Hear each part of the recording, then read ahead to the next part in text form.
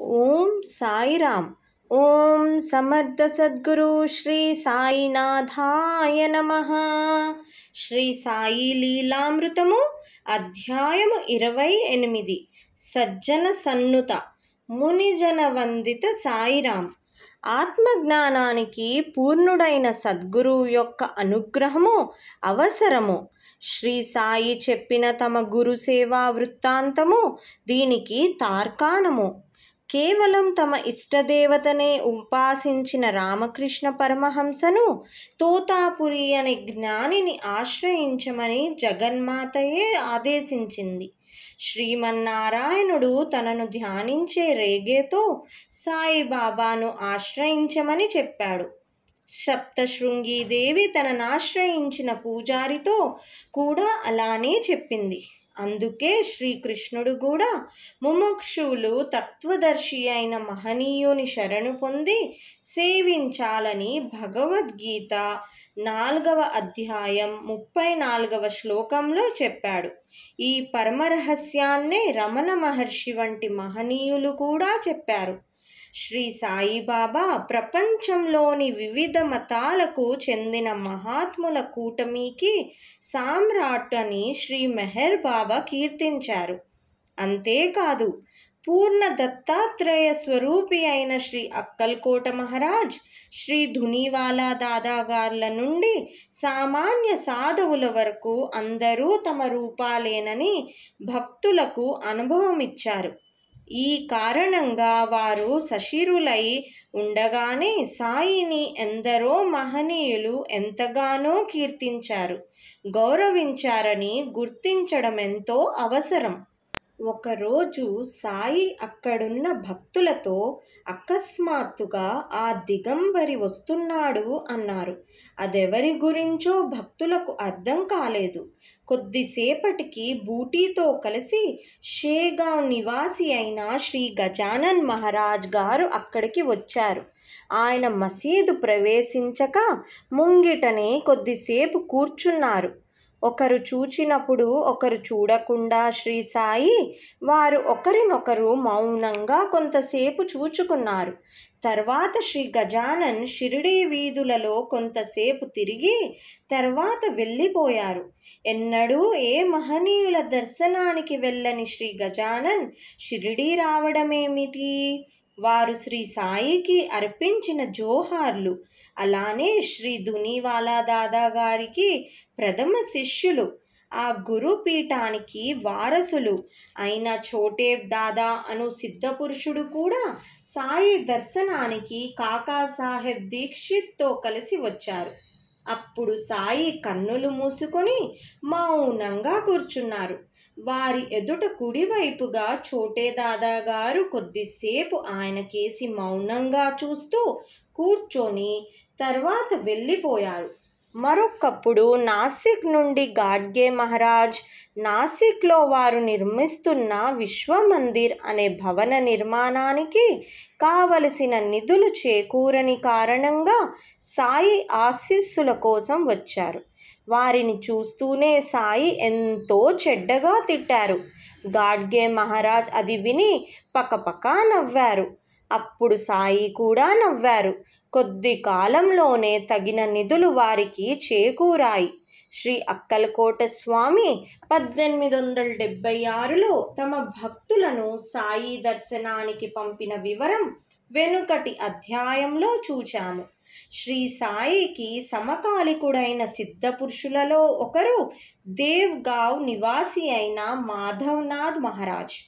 వీరు కూడా చిలిం త్రాగేవారు. ఈయన ఒకసారి షిరిడీ వచ్చి సాయిని దర్శించారు.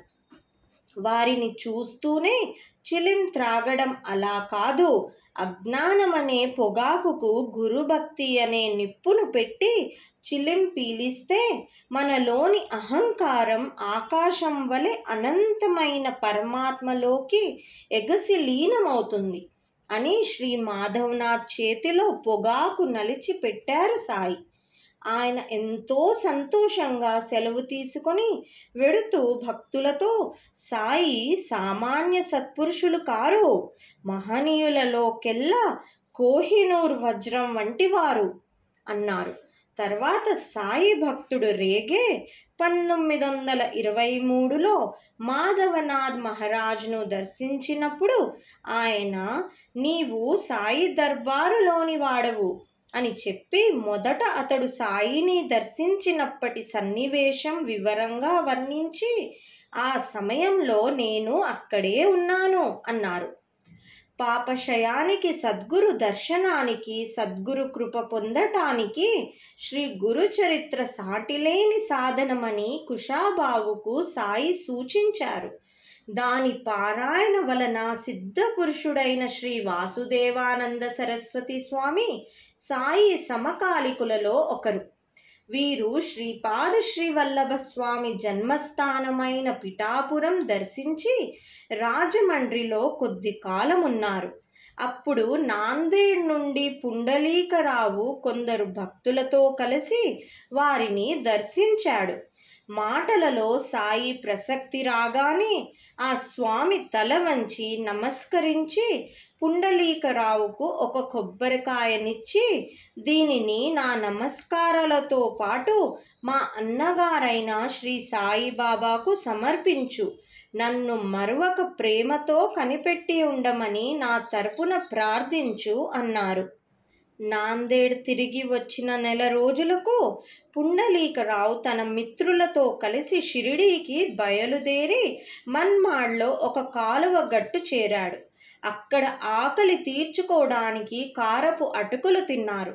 అవి మరీ కారంగా ఉండడం వలన ఒక కొబ్బరికాయ కొట్టి అందులో కలుపుకొని తిన్నారు. కానీ తర్వాత వారికి గుర్తొచ్చింది వారు తినేసినది శ్రీ వాసుదేవానంద స్వామి సాయికి పంపిన కొబ్బరికాయ అని. వారు షిరిడీ చేరగానే సాయి నా సోదరుడు పంపిన కొబ్బరికాయ ఏది అని అడిగారు. పుండలీకరావు తన అపరాధం క్షమించమని కోరాడు. ఆ కాయకు బదులుగా మరొక్క కాయ సమర్పిస్తానన్నాడు. తన సోదరుడు పంపిన కాయకు ఇంకొకటి సాటి కాజాలదని చెప్పి సాయి ఆ భక్తులను క్షమించి ఆశీర్వదించారు. ఆయన శ్రీ వాసుదేవానంద స్వామికి కూడా పూజ్యులే. వారు తమను దర్శించిన సగుణ మేరు నాయక్తో నీవు ఒక గొప్ప దర్బారుకు చెందినవాడవు. ఇక నీకు చెప్పవలసినదేమున్నది? అని సాయిని ప్రశంసించారు. పరిపూర్ణుడైన యోగి కోసం అన్వేషిస్తున్న ఉపాసనీ శాస్త్రితో రాహూరి నివాసి అయిన శ్రీ కులకర్ణి అను యోగి మహోన్నతమైన యోగ స్థితిలో ఉన్న నిన్ను ఉద్ధరించగల సమర్థుడు శ్రీ షిరిడీ సాయినాథుడే అని ప్రశంసించాడు. షిరిడి గ్రామస్తులతో గంగగిర్ బాబా శ్రీ ఆనందనాథ్ మహారాజులు సాయిని గురించి ఎంత ప్రశంసంగా చెప్పారో చూచాము. ఠాకూర్ అనే ఉద్యోగితో కన్నడ మహాత్ముడు శ్రీ అప్పా కూడా సాయిని గురించి అలానే చెప్పారు కదా. షిరిడీలో ఒక్క సంవత్సరం నివసించిన శ్రీ మెహర్ బాబా గారు గుప్తావు అనే భక్తునితో సాయిబాబా ఎంత గొప్పవారో తెలుసుకోవడం మీకు సాధ్యం. ఆధ్యాత్మిక పూర్ణతే ఆయనగా వెలిసింది. ఆయన సంగతి మీకు తెలిస్తే ఆయన ఈ సృష్టికంతటికి గురువని తెలుస్తుంది అన్నారు. నాగ్పూర్ నివాసి అయిన హజరత్ తాజుద్దీన్ బాబా గారి దర్శనానికి బూటీ వెళ్ళినప్పుడు అతనితో ఆయన ఇక్కడెందుకు వచ్చావు నీ గురువు షిరిడీలో ఉన్నారు. నీ విషయంలో జోక్యం చేసుకోవడానికి నేనెవరిని? సాధ్యమైనంత త్వరగా అక్కడికి చేరు అన్నారు. తమ దర్శనానికి షిరిడీ రాని సాధు పుంగవులకు కూడా వారి వారి స్వస్థలాలలో శ్రీ సాయి తమ దర్శనమును గ్రహించేవారు. ఉదాహరణ పంతొమ్మిది వందల పద్నాలుగులో నాందేడ్ సమీపంలో నివసిస్తున్న దాజీ మహారాజ్ గారిని తోసర్ దర్శించాడు. అప్పుడు ఆయన నిన్ననే మారుతి రూపంలో సాయిబాబా ఇక్కడికొచ్చారు. అప్పుడు ఉరుము వంటి శబ్దమైంది అన్నారు. మహాసమాధి తర్వాత కూడా శ్రీ సాయి మహనీయులందరికీ సామ్రాట్టుగానే కొనసాగుతున్నారు. వారి చరిత్ర వారు ఆదేశించిన శ్రీ గురు చరిత్రలు పారాయణ చేసి వారి కృపకు పాత్రులైన వారికి ఇతర మహనీయుల కృప అవ్యాజంగా లభిస్తుంది.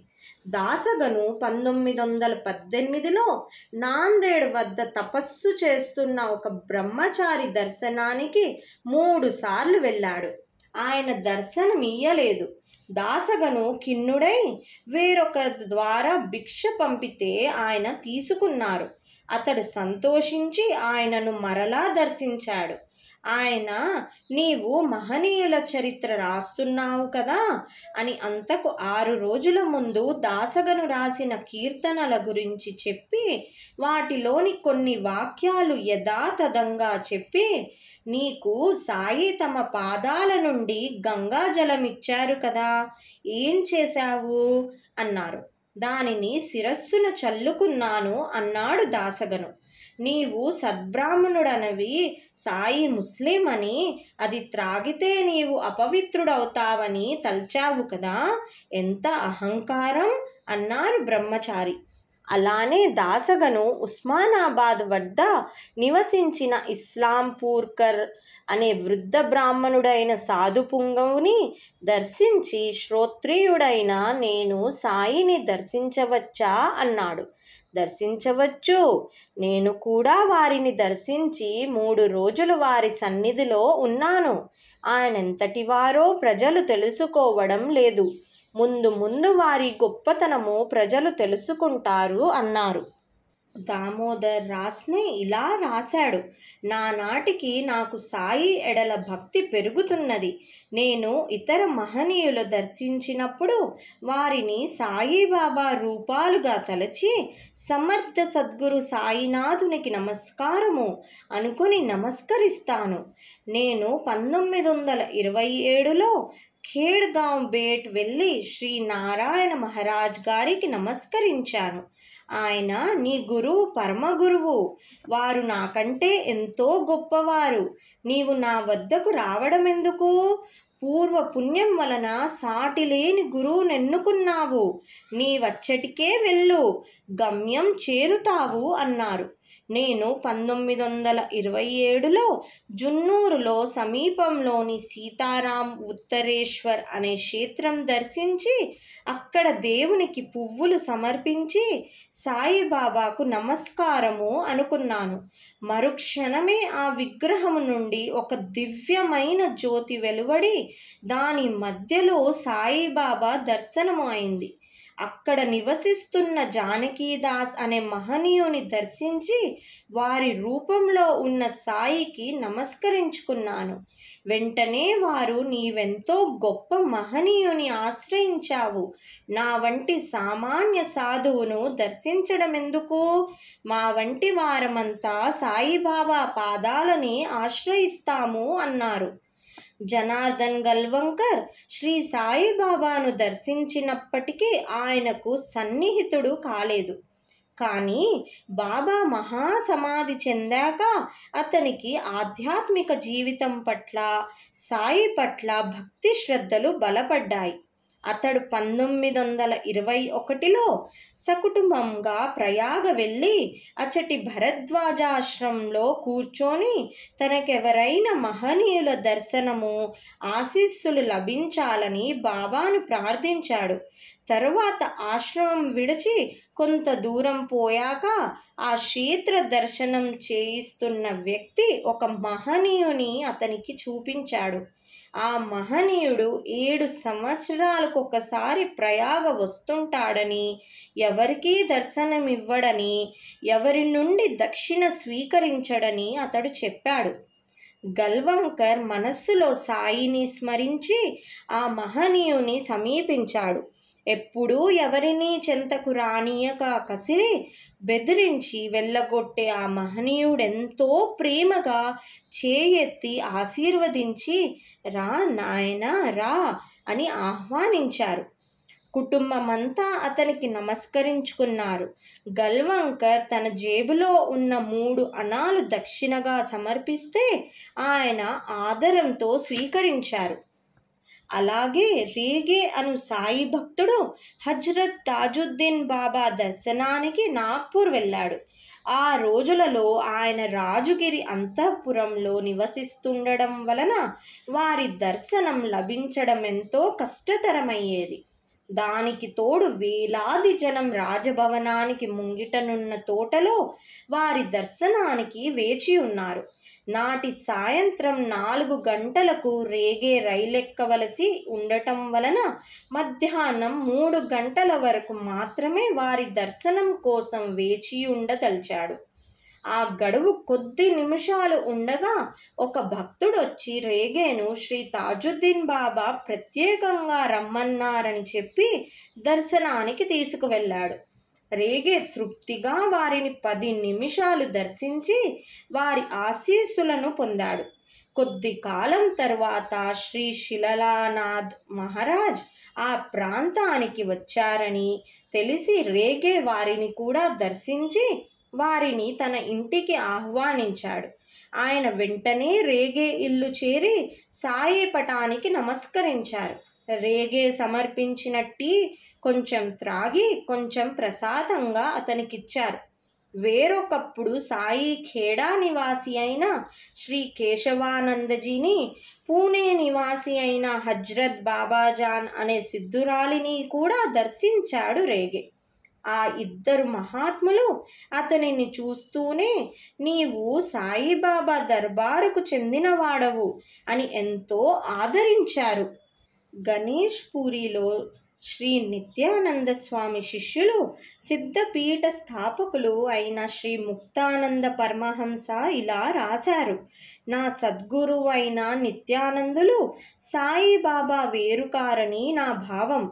నేను మన దేశంలో ఉన్నప్పుడు ప్రతి సంవత్సరము తప్పక షిరిడి దర్శనం ఒక్కసారైనా చేస్తాను. ప్రపంచ పర్యటన చేసినప్పుడు వేలకు వేలు సాయి పటాలు పంచాను. పూణేలో ఒక కుటుంబం అటు సాయిబాబాకు ఇటు కాకా మహారాజ్కు భక్తులే. ఒకసారి రఘునాథ్ కాకా మహారాజ్ గారిని తమ ఇంటికి విచ్చేసి కొద్ది రోజులు అక్కడ ఉండమని కోరారు. కానీ ఆయన అంగీకరించలేదు. అప్పుడు వాళ్ళు సాయిని దర్శిస్తే ఆయన చింతపడకండి కాకా మహారాజ్ మీ ఇంటికి వస్తారు. ఒక్కరోజు కాదు మూడు రోజులు మీ ఇంట్లో ఉంటారు అని ఆశీర్వదించారు. తర్వాత చిత్రంగా శ్రీ కాకా మహారాజ్ అలానే చేశారు. శ్రీ సాయి ఆజ్ఞ మహనీయులకు కూడా శిరోధార్యమే. శ్రీ మాధవనాథ్ మహారాజ్ ఇండోర్లో ఎందరినో భక్తి మార్గంలో నడిపించిన మహనీయులు వీరికి బాబా పట్ల ఎంతో భక్తి శ్రద్ధలుండేవి.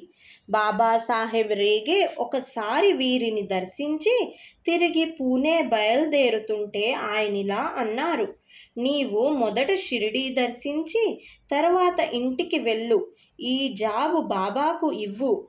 ఆ జాబులో దేవి సాక్షాత్కారము మొదలైన ఎన్నో విషయాల గురించి ఆయన రాశారు.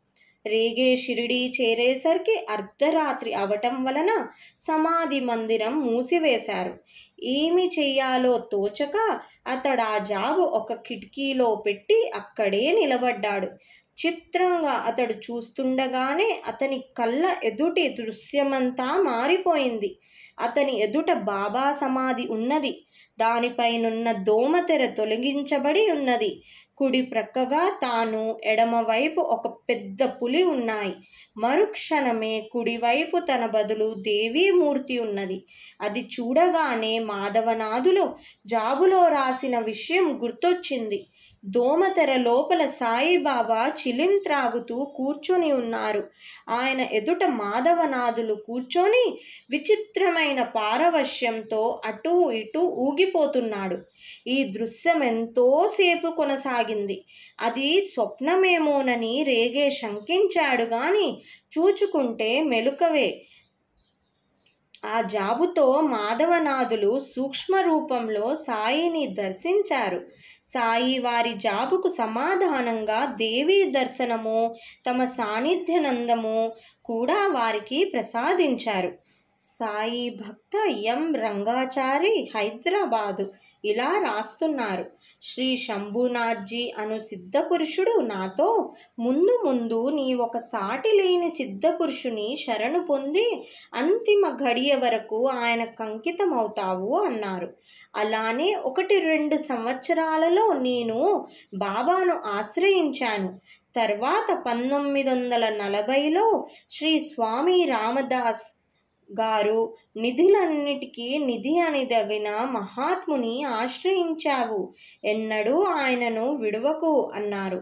అలానే పంతొమ్మిది వందల యాభై తొమ్మిది విజయదశమికి పంపిన సందేశంలో శ్రీ స్వామి శివానంద్ రిషికేష్ షిరిడీ సాయిబాబా అంటే ఆనంద సాగరమే అంతకంటే గొప్పది మరేమున్నది? అన్నారు.